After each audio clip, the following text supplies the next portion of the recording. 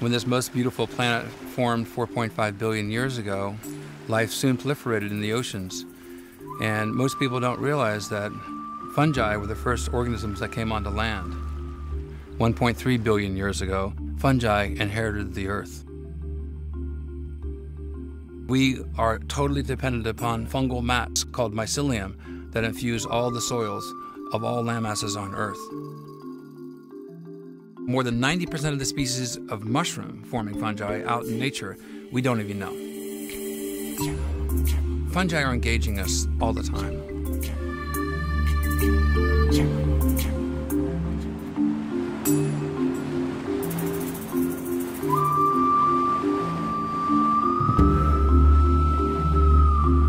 We're going to go up Humphrey Channel and we're going to come into about this area here. Most people may not realize that more than 60% of our pharmaceuticals are still based on natural origins. There's a potential. This is a continuation of a lifelong journey for the search for agarikon. Agarikon is this exceedingly rare mushroom growing exclusively in the old growth forest, more typically on Douglas firs around here. It's called Fomitopsis officinalis.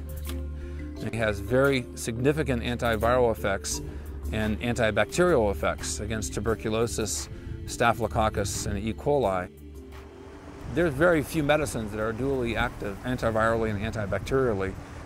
So if we can find something that can provide a host defensive resistance, first against the virus and secondarily against the ensuing bacterial infection, it could be a significant medical discovery. Yeah. So just like every organism, you know, every microbe two top researchers from the University of Illinois Tuberculosis Research Center in Chicago have flown out, and the activity has been significant enough to get their interest. We're interested, of course, in finding new cures for tuberculosis. That's the sole focus of our institute. We've been uh, testing this in the laboratory, and we've had some uh, very encouraging early results. There it is, agarikon. And it's unusual to find people who work with these organisms very closely or have a very deep understanding of them and a passion about them. Good job. Paul is, is such a person. We are finding more agarikon than I've ever found in my life on this short voyage. To help us to do the project correctly, it really helps to be out here and to understand these organisms and where they live and, and what is special about them.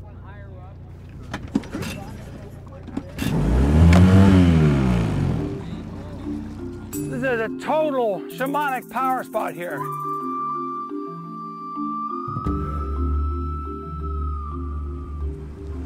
There's no oral or written histories on pictographs.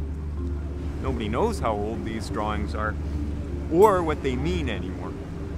But uh, one of the figures resembles very uh, closely what Paul describes as Mushroom Man, and uh, you may want to talk to him more about that. I'm sure he'll be happy to tell you something. In 1894, Charles Edenshaw recorded the legend of Fungus Man and the origination myth of women, and these were etched out in the Haida Gwaii, also known as the Queen Charlotte Islands.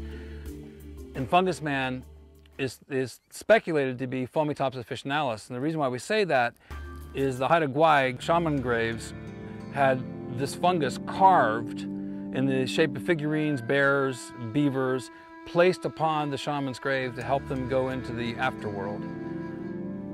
And how interesting that Fomitopsis officinalis would be growing right where these pictographs are. And I suggest the hypothesis that Fomitopsis officinalis was here first, and the pictographs are here because of this, because shamanistically, places and objects become important spiritually because of a confluence of multiple characteristics, not because of one thing. A power spot is just not a power spot because of a location. It's because of a synergy of multiple characteristics that make it super special. You know, I work with several people who look for sources of drugs from fungi. But they take a much more kind of um, sterile laboratory approach.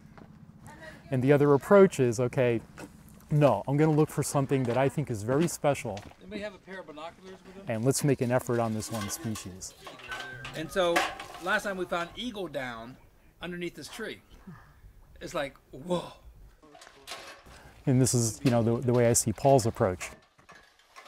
And, and to me as a scientist, it's also kind of, kind of hard to put that much faith in, in one avenue. But um, I feel better doing this with someone like Paul, who's worked around these organisms for, for his whole life.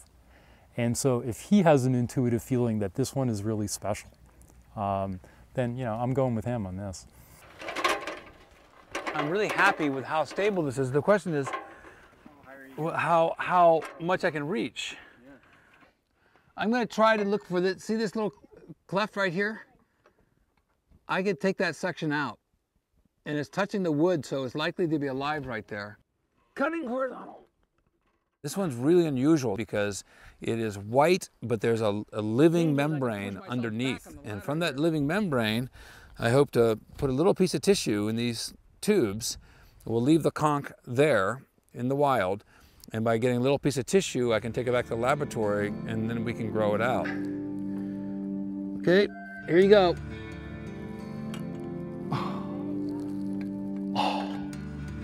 Fantastic.